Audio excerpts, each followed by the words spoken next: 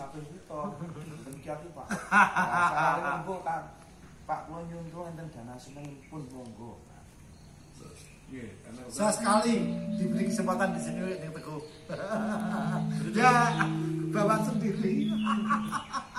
seperti konsumsi juga kita tawarkan ke lingkungan jadi dukungan dari masyarakat juga sangat-sangat luar biasa saya apresiasi betul jadi eh, pada waktu itu kita berpikirnya Di teguh. kita tidak membebani Saya pada potong sedikit. Nggih. Sebelah ini kan pengelola sanggar Bandung Budowoso.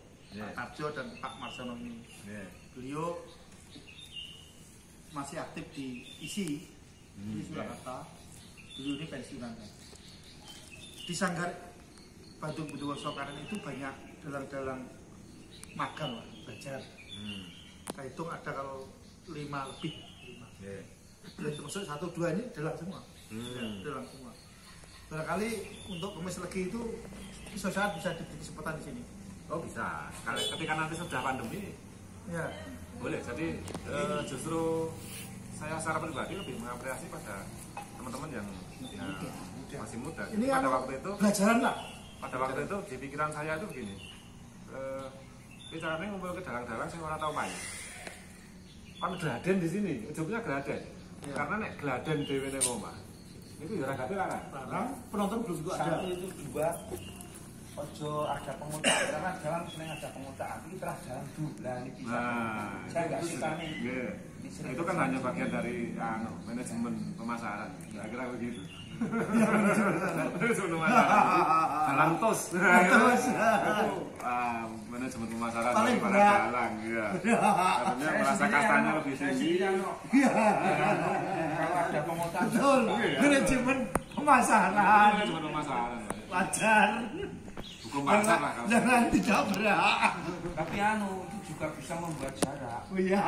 Itu akan terjadi loh, ya memang dibuat seperti itu Dibuat. karena eh, kastaisasi itu Jadi saya termasuk tokoh bukan kena pedalangan, ning aku soalnya sok gambar wayang.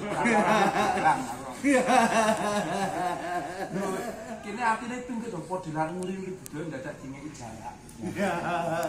itu kan claiming ya jadi ya memang ini om gini ya ngoten itu kok sampai hari ini pun masih di di daerah-daerah pedesaan itu gue lah dari lurahnya orang terlalu lah ya orang bakal kuat suwe ya itu doktrin dan dogma gitu kan jangan-jangan ya sing Mitos. pinter ya oke terus bener ya. Ada ada lagi gini Pak. Nah, orang terah strategi politik orang terah perjalanan kan untuk meruat. Mohon nek niku saya ora ora ora berharap meruat. Iya. Tapi langgane nyowo juga. Betul. Saya takut. Bangane meruat saurane nyowo mending rasa ngurasi. kalau sudah seperti itu kan sebenarnya kembali ke keyakinan masing-masing prinsipnya kalau menurut saya ya pendapat Ya saya, marketing. eh, kalau memang memposisikan diri sebagai dalang gelap ya dia harus suci lahir batin. Ya, Prinsipnya itu. itu, Nah, itu. bukan masalah trahtus dan lain Nah. sebagainya, tapi Betul. bagaimana kehidupan dia sehari-harinya, Siapkah? siapkah mental dia Karena, dirinya. karena batinnya dituntut kok. Iya, Nah, di situ. main-main. Makanya Lho saniki wong sing trah mencoleng ya mbahne kaji mutune Perusahaan. prosa saya ya. sudah, sudah paham sekali Pak itu. Kok ini pun jalan pelan-pelan. Aku Apa nih toh? Kalau kita mau objektif loh ya. Ya, kita objektif ya Bakul. nggak beda dengan konsep dulu pernikahan Jawa begitu berbeda itu kan sebenarnya juga dalam rangka eh, mengendalikan truk atau itu Tapi yang penjenengan ngendika tentang rias kan yang setuju. Men, banyak sekali perias yang sudah tidak pakai aturan. Ngurus. Bisa kartu dewi, bahkan baju itu warna-warni loh. Itu- Campur sari.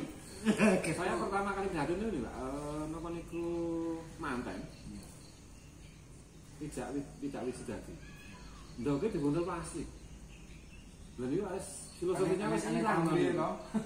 Mereka digoreng. Lah, artinya kan goreng resik isi kira bojone sing amis ndok wae ora ora gelem gitu. Oh iya betul ya. Sing penting amise kuwi kok. Iya. Lah kan nggih artinya amis e gede bojone kaya ngono ya kudu diresiki kudu di sebagai suami istri kan begitu. Aib bojo ya kudu Ya, ditanggung. namanya plastik. Nah ini botol plastik itu kan sebenarnya sing antara manten nih. sing mantu ngerti. paham, itu Nggak ngerti. Sing paham itu periase. Ya. Bertigas. Nah, perlu perlu kita edukasi. Iya. Nek masalah aplikasinya di lapangan ya monggo itu kembali ke mereka. itu ya, tapi setidaknya kita berikan pemahaman Memang bahwa betul harus diajarkan kembali. filosofinya itu begini loh, jangan terus dikebiahui artinya kebiawur gitu. Ke mana-mana kita diskusi khusus tentang mantan. Penting, nah ora yo anu Ya kebangetan. itu anu Pak, makanya dengan workshop kan. Bisa bisa nggak? Oke. Pak Ek diaturi beberapa rias untuk Oh mas, mas Restu yang yang di bidangnya, ya dulu yang saya undang ke sini juga Eh, sebenarnya bahannya awal dulu kayak Pak Nek belum. Kanjeng Yus, Kanjeng Lintang sama Mas Restu waktu itu. Ya kalau kerjanya apik kan penak ya. Kalau mungkin spontanitas acara ini ternyata kok yo mentes. Dulu di Wilayah itu ada eh, pertemuan perias-perias itu setiap eh, Rabu apa Rabu Legen ya? Rabu Nggih, dulu kita fasilitasi. Jadi Mawasa pada waktu itu mengadakan kolaborasi dengan para perias-perias itu mengadakan sarasean setiap eh, Rabu Legen itu. Kan dulu itu ya itu nek Nah, saiki sing ras bencong. Nah, nggih. Wes, lepas Pripun niku kula ki gumun. Gitu, nanti sing dia bincang gitu. Saiki. Padahal itu sudah hampir angsare. punah. Nggih. Nggih. Sembogo itu hampir punah. Malah punah. Ya aku betul ngertos, betul ngertos betul sarung sudah sing rias bincang nih. Lagi pripun anti pernikahan to niku. Kok Wah, wis bencong iku. Lah nggih. Ya kan. Bincang. Ya kalau konsep mantannya modern monggo. Tapi sebenarnya kita memberikan edukasi nek nganggo pakem ya sing utuh. Tapi tapi ya numpak orang modern tetep jika ikut tradisi umum gayane duwaya pane ngono. Kan bukan duwe dek iki. Tetep acuane pada tradisi. Aneh. Ora bakal iso ngowahi tradisi. Tradisi kuat banget kok. Oke. Kuat banget apa. Sekarang itu keranjingan wong do merubah baju warna-warni kan wis kaya kena dosa kan. Walaupun banyak sekali wong saya itu ya sering MC nganten ya, tidak Hmm. datang. nganti wegah dadi dadi disunit terus ane ya lan terus iringane orjen iringane ben aku ora nyambung terus ora aku ora golek MC yang kerja MC dangdut sana Ya minimal ya Pak. Eh, kita kembalikan ke diri kita sendiri. Ketika kita memang eh, punya kepedulian terhadap budaya itu minimal untuk diri kita sendiri ketika mengadakan acara, yuk kita usahakan se sebaik mungkin untuk contoh kiwatan kan gitu.